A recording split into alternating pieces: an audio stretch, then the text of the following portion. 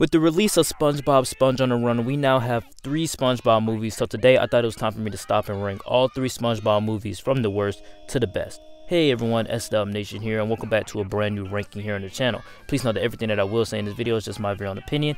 My list is certainly not the right list, it is just my list. You are free to comment down below your ranking of all three SpongeBob films, ranked from the worst to the best just like me, or you could just do your favor. Also, please check out my Twitter, that's going to pop up on your screen right now. You guys can also check out my review for SpongeBob, Sponge on the Run, right there up above.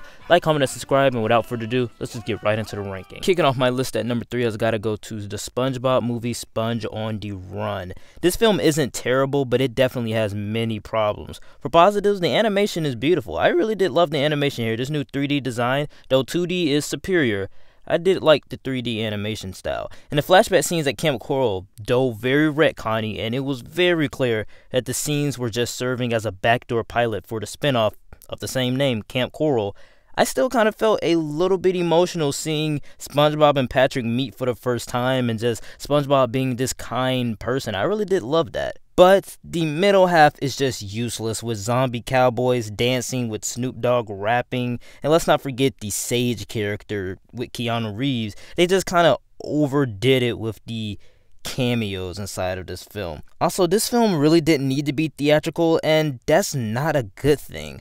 Also, the story is very familiar, but I didn't think that that was a big flaw. The film is fine for SpongeBob fans, people like me, but for anybody else, I say it's an easy skip. My runner up at number two has got to go to the SpongeBob movie Sponge Out of Water. I love this film.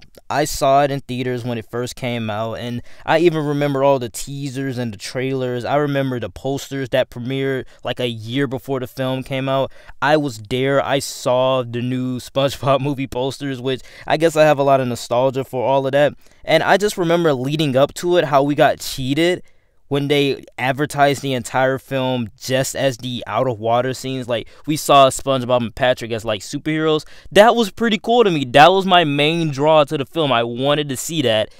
And yeah we did kind of get a little bit cheated. The film only had 32 minutes of those said scenes but I did like the story here. It's a nice little, you know, who did it story. Uh, where's the secret formula? I like the fact that the secret formula is a central part inside of the story, which is very good and very classic SpongeBob to me. And the transition from land to sea was actually pretty enjoyable. The 2D scenes were way more clever as well as better than the land scenes in general.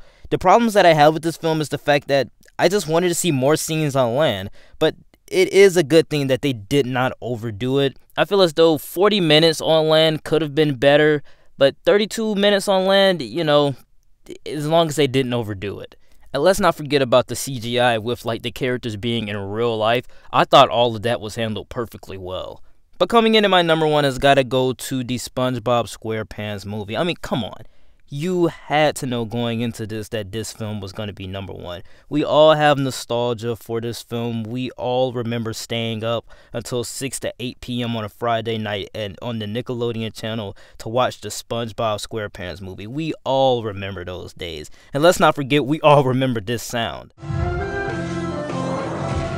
so many memories. This film had no right being as good as it is. Stephen Hillenburg, the director, also the creator of SpongeBob RP, they did a nice little tribute for him in Sponge on the Run. Stephen Hillenburg directed this film at the height of SpongeBob, incorporating lots of wit and humor with a classic road trip story that covers all the tropes, but also make fun of them as well in hilarious ways. I think that this animation is the perfect animation for the big screen as well as the story. I love the story inside of this film, though it is kind of cliche. Like I said, they make fun of those tropes a lot. And although we make fun of those tropes, the central story stands clear. It's okay to be a kid and have an inner child. And in the end, through their best efforts to be adults and mature, SpongeBob and Patrick, it's their childish acts that saved the day in an albeit awesome way with the finale, you know, the Goofy Goober song. I loved all of that. Also, I do love Plankton as a villain. Though he is a great villain inside of the show, just inside of this movie, he's so great because he actually wins in the beginning of the film. His whole Plan Z thing, I loved all of that. And let's not forget about David Hasselhoff, one of the greatest cameos, because he actually had something to contribute to the story. He helped them get right back to Bikini Bottom. And whereas the other cameos inside of Sponge on the Run happened. They just happened to happen with Snoop Dogg and Danny Trejo, and also Keanu Reeves. They just happened. But inside of this film, they it happens for a reason, and they didn't overdo it.